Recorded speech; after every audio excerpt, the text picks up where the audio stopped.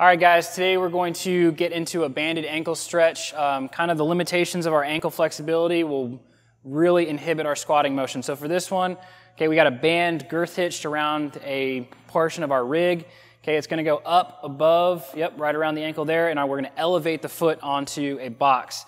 Now what's gonna happen is that she's going to lean forward, right, that band's gonna pull back a little bit on the ankle, and we're gonna again build that ankle flexion um, in order to develop and improve our squatting position.